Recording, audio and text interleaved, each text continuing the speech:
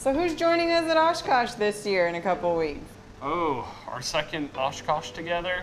I wonder what kind of trouble we're going to get into. Stay tuned. Hope to see everyone there.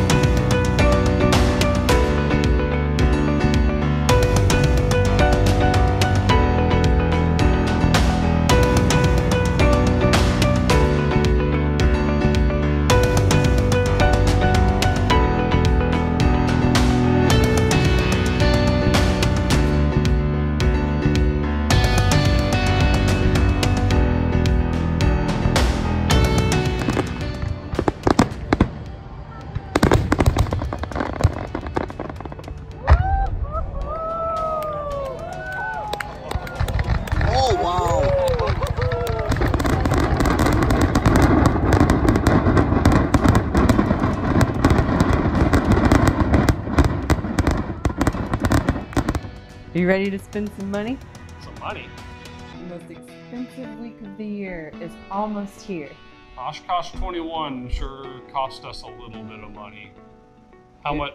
How much worse could it get with Oshkosh 2022? Quite a bit worse. So we're getting in the final fa- uh, stages of packing everything up, or starting to pack. Okay, we haven't started packing yet, but we will. We promise we'll pack. Loading everything up, heading up north. Maybe driving this year, maybe flying. I've uh, since what Oshkosh 2016, I've always flown in on the Fisk approach. But this year we might be driving the Fisk approach uh, in our new electric F-150 uh, Lightning. It's gonna be kind of exciting. I'm looking forward to the electricity at the campsite. It's going to come down to the wire if they can deliver our new truck to us right before Oshkosh or not. So it's going to be a exciting adventure. But it did get built off the factory line as of June 30th. Uh, delivery date is currently scheduled for after Oshkosh, but everyone seems to be getting it significantly earlier than their estimated delivery date. So we'll see if we get our F-150 Lightning and 9.7 kilowatt hours of electricity at the campsite. So when we go to Oshkosh, we camp in Camp Scholler, at a place called Camp Bacon, with a lot of our aviation friends and family that we see every year that we go up to Oshkosh. So if you're in Camp Scholler, look us up. Uh, stop by Camp Bacon. Uh, not really sure where we're going to be this year. It's been up in the air the last couple of years. So, what'd you buy last year at Oshkosh? Aviation for a lifetime. Aviation for a lifetime, and it feels that way with the build so far. But yeah, last year, well, she first made the decision that we were going to build the RV 14A. And Um, then I decided I was gonna get my pilot's license. and we're making progress on both.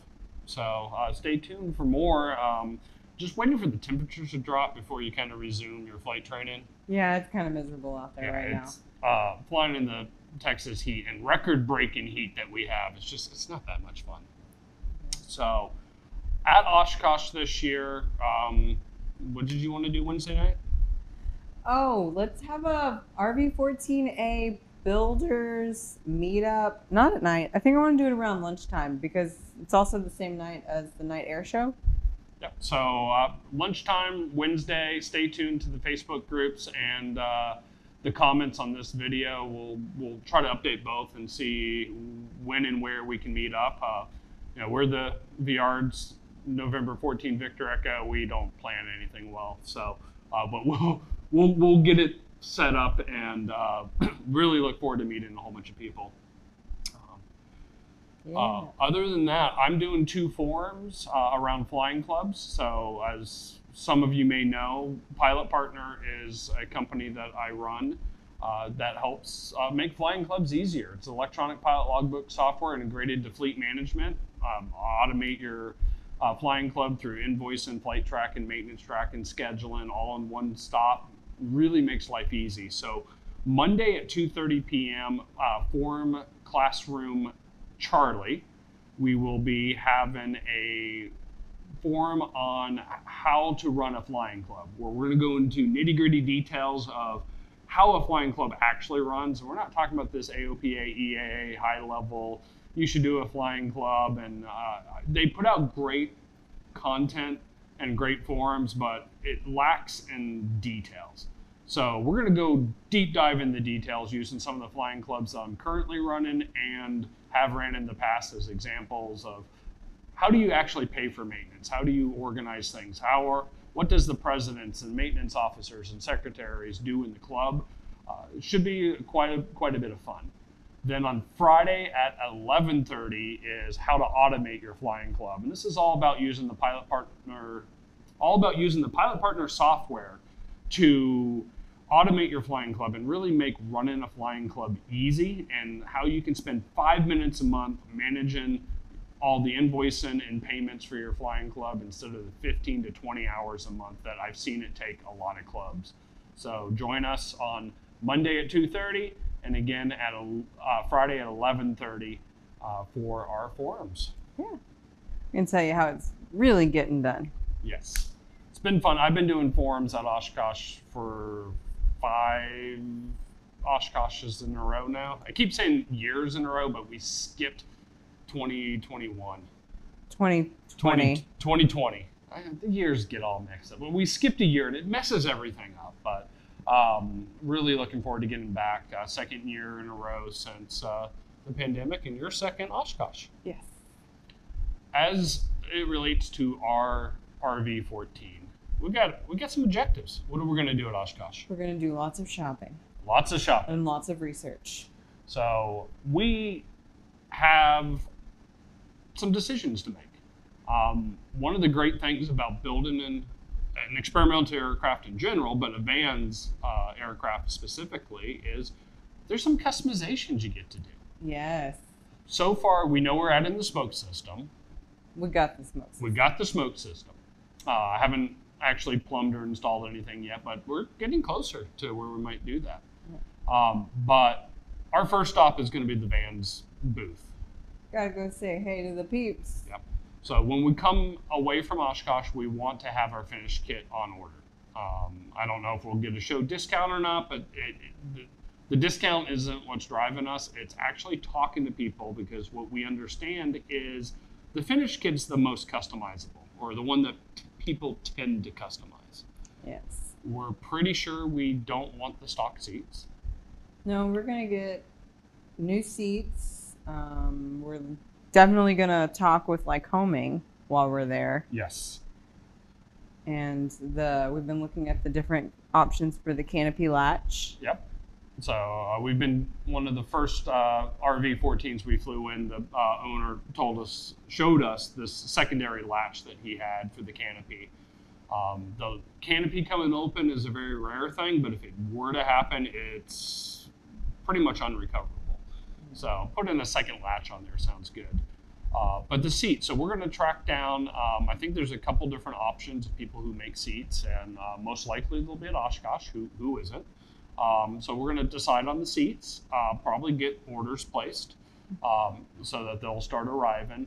Start removing that from the finished kit, Yeah. and we're going to see what other options um, that we're going to remove from the finished kit. Uh, brakes is one that we've Yeah. discussed and talked about going with the Beringer brake Beringer upgrade. brake. Um, I want to look for an air conditioning unit for an RV. I mean, it would be lovely, but I just I don't see it happening. I mean, the one we have in the Bonanza, it's it's cool. It's nice to have. Yep. The one in the Bonanza didn't didn't operate as well as it should have for a lot of different reasons. Um, definitely thankful that we had it, but it I think in the RV we're gonna have a much better time because the Bonanza it, it just leaked so much air. from the outside that no matter how good the air conditioner was working, you had so much lukewarm air coming in that just overpowered the air conditioner. Um, with the canopy being as clear as it is, even in mild days, having the air conditioner really for when you're on the ground and first getting up to altitude, we'll see what trade-offs there are. Uh, weight and balance, weight, uh, electricity. There's a lot of different trade-offs with, um, but just a little something to take the edge off, I think will go a long way. We'll see what option. When Oshkosh, it's the place to go ask these questions and see what you have. Who are you most excited about talking to this upcoming Osh? Uh, Vans Aircraft, definitely. One of my goals of Oshkosh is I want to have Greg Hughes, president of Vans Aircraft, on our channel, sit down, and I want to discuss our build and our everything that we're doing. Uh, I want to get uh, Mike from Cleveland Tools on the channel. Uh, his YouTube videos have been fantastic, and we've bought a lot of tools from Cleveland Tools. We've just learned a lot about how to use tools that we either inherited or bought from them. Uh, their videos are great, learned a lot. Uh, so, really hope to meet with a lot of these different people that we've looked up to since we've started this channel and started this build. Um, Lycoming is a big one that I'm looking forward to sitting down. We placed our engine order, uh, IO390 uh, Thunderbolt. We placed our engine order right before the price increase but I don't know what options we chose, what options we want. So I'm really looking forward to sitting down in their booth, going over in detail, uh, tweaking our order. Uh, our, our name hasn't come up yet, so they haven't called us to start the build yet. So still fingers crossed, a year plus out from the engine coming because engine's not going to fit on this anytime soon. So uh, Lycoming's a big one. Uh, who else do we want to talk to? Uh, avionics. Mm. What kind of avionics are we So, going with? well, we're doing Garmin, All Garmin. all Garmin, but um, Midwestern and Stein Air. Midwest Panel Builders and Stein Midwest. Air are the two options that we've talked to and got quotes from both. Um, and we're going to kind of weigh the pros and cons of both. I think, from what I've seen so far, both are great options. Um, I Yeah. think they, the more I think about the avionics, the more I think having someone who's built wiring harnesses and plugging these pieces of equipment together for multiple Vans aircraft and multiple different experimental aircraft, they're going to do a quicker job, better, for less money. Maybe not less money.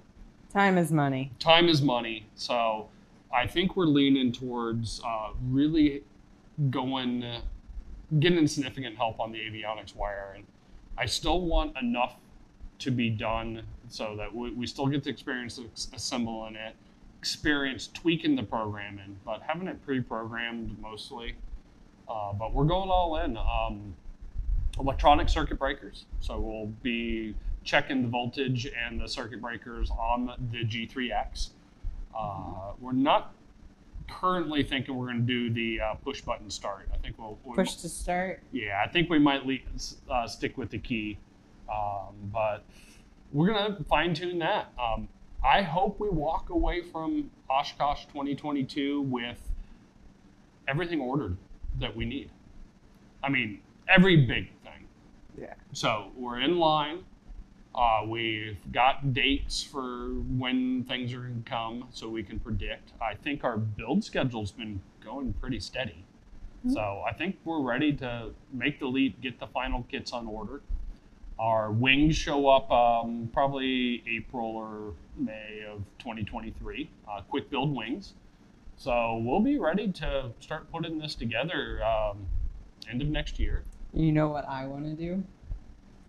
I'm going to go talk to the people at Evoke and get us on the list so that when it's time to paint this beauty, we're good to go. You don't like silver? I mean, silver was a girl's best friend. Oh, it's diamonds. tungsten. Tungsten. I think the only thing she likes more than the wedding ring, that an engagement ring that I bought her was the nice tungsten buck and bar set. So, and guys, invest in your wife, tungsten. So, the way to go. Um, but yeah, Evoke. Uh, we had a phone call with them. Um, you know, if you want to save every penny you can, go paint it yourself.